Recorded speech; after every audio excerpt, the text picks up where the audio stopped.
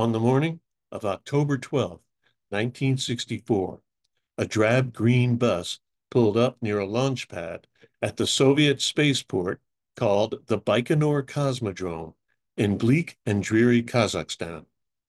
The door opened, and three small men in soft white aviator caps and what looked like wool leisure suits stepped down.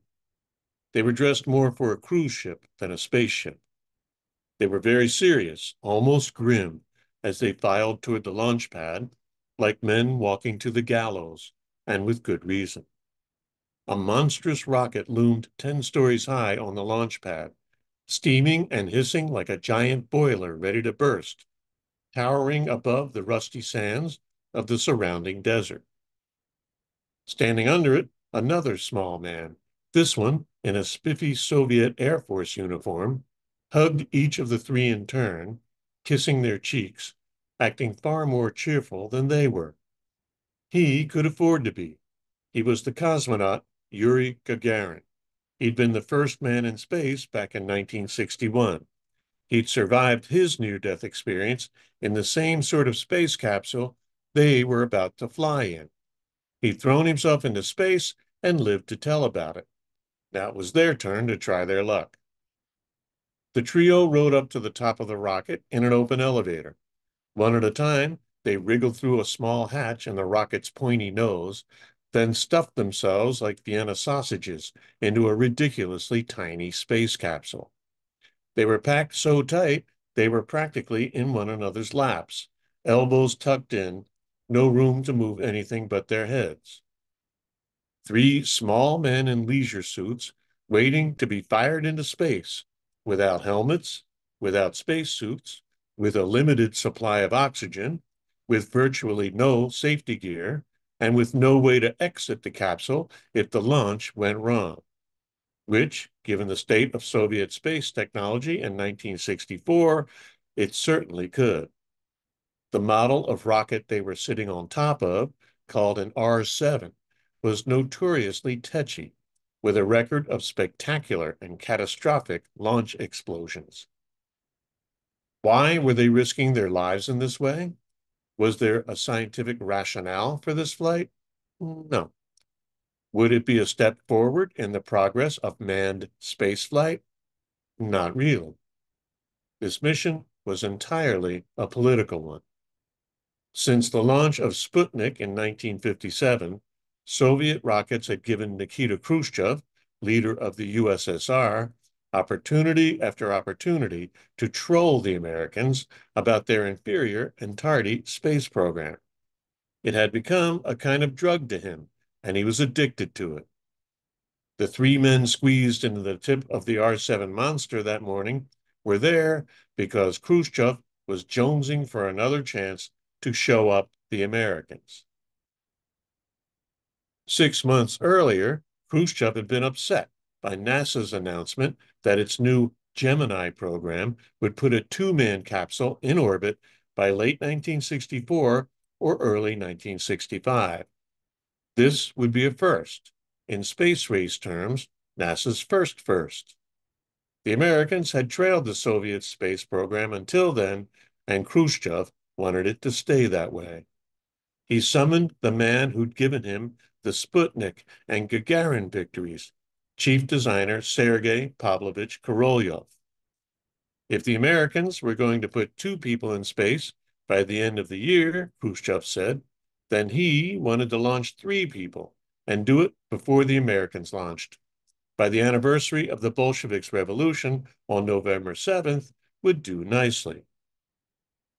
Korolev tried to explain in technical detail that it would take much longer than that to develop a three man vehicle and a rocket powerful enough to lift it into orbit. Khrushchev had grown up a farm boy and factory worker and confessed that his grasp of engineering was not good. He liked his chief designer, who had given him some great propaganda coups over the Americans, but he wanted another. So when Korolev told him that what he asked for couldn't be done, Khrushchev in effect replied, make it so. There was indeed no time to develop a new three person vehicle or a rocket big enough to launch it. Korolyov and his engineers could only try to convert the one-man Vostok capsule that they'd been using since Gagarin's historic flight in 1961.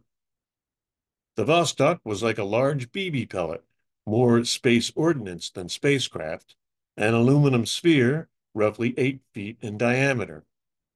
When cosmonaut Alexei Leonov saw one for the first time, he was shocked that it was so small and round. I had imagined a totally different type of space capsule, something more sleek and dynamic. He also couldn't get over how cramped it was inside. Like all cosmonauts, he was not tall, only five foot seven, but he didn't see how he would be able to fit. In fact, Vostok was designed for a rider no taller than five foot six. And now they were planning to cram three of them into it. Korolyov's team stripped the Vostok interior nearly clean, then struggled to squeeze three seats in where there'd only been one. The seats just barely fit the space, but there was obviously no way to stuff three cosmonauts in bulky spacesuits into a space that had already been cramped for just one.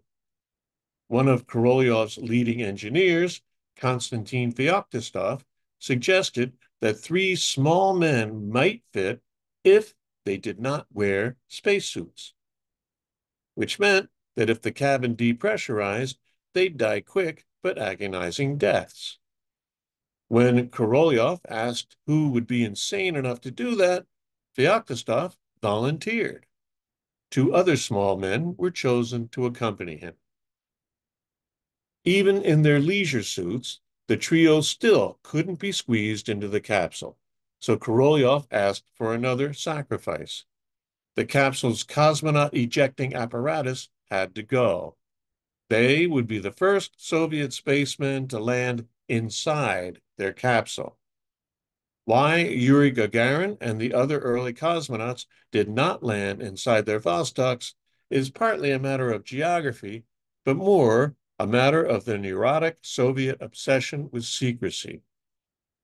Project Mercury astronauts enjoyed the luxury of splashing down softly in the ocean because the U.S. was surrounded by temperate waters and had a very large navy for retrievals, thus Cape Canaveral. The Soviets put the Cosmodrome out in the middle of nowhere, where activities and especially failures were far from prying eyes. For such a vast landmass, the USSR had little access to waters that weren't icy, not ideal for landing a spacecraft in. The Cosmodrome was surrounded by vast tracts of flat, featureless, remote steppe, and that's where Vostok capsules came down. They were hard landings that could kill any cosmonaut inside, and eventually did. So Vostok missions relied on ejector seats. When the descending vehicle reached a certain altitude, explosive bolts blew away a hatch cover above the cosmonaut's head. More explosive bolts fired the cosmonaut's ejector seat through the opening. If all went right, the cosmonaut floated to the ground under a parachute, as though they'd jumped from a passing plane instead of bursting out of a plummeting spacecraft. So the next time you feel inclined to go on about what space cowboys America's early astronauts were, you should picture their Soviet counterparts, male and female, being fired out of their hurtling BBs at high altitude. Not because it was good science, but because their bosses in the government wanted them to be far away from public view. The story of the Soviet space program is a litany of such oddball make-do workarounds, most of which the Soviets brought on themselves. There was absolutely no room for three ejector seats in the capsule. Instead, Feoktistov and others designed a new braking system with parachutes and small retro rockets.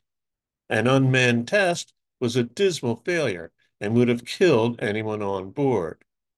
Members of Korolyov's team took to calling the capsule the Space Grave.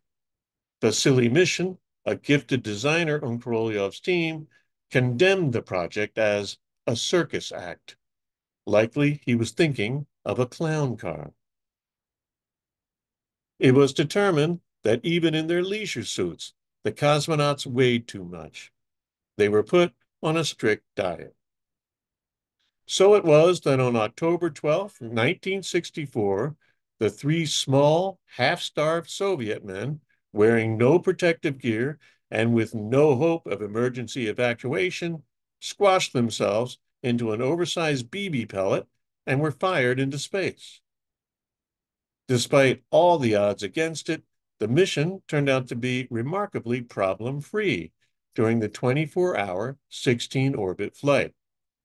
The next day, the world's first space trio banged down to the ground in northern Kazakhstan.